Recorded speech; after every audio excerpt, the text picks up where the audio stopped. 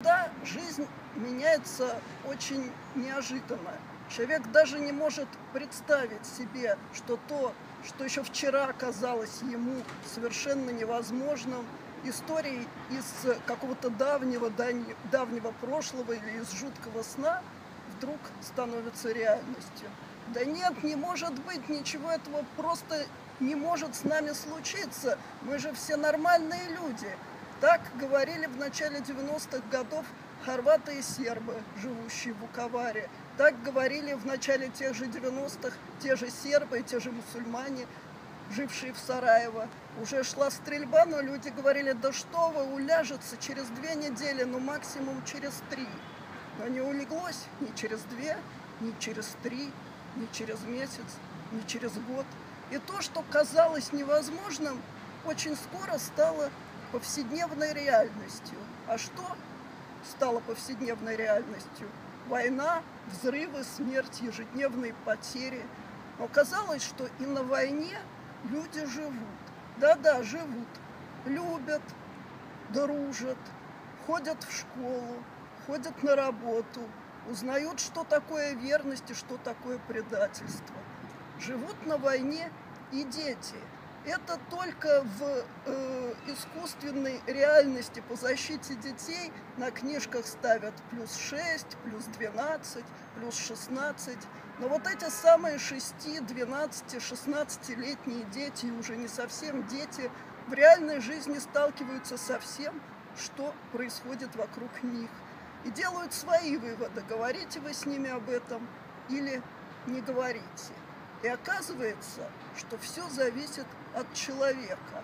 Одни во время войны начинают гнобить, а иногда и убивать своих бывших соседей, своих друзей, с тем, э, тех, с кем ходили в одну школу, с тем, э, тех, с кем вместе работали. Другие, наоборот, рискуя жизнью, спасают неправильных по национальности и вероисповеданию, иногда совершенно незнакомых людей. Потому что человек всегда остается человеком. Иногда хорошим человеком, иногда человеком плохим. И так сложно бывает разобраться, кто прав, кто виноват, и есть ли вообще они правые или виноватые. Но есть жизнь.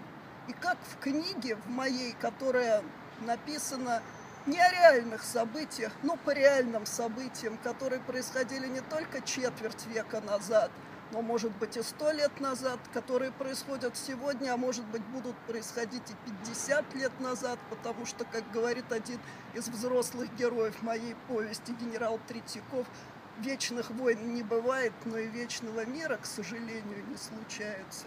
Так вот, дети все равно живут, все равно дружат, все равно узнают, что в жизни главное.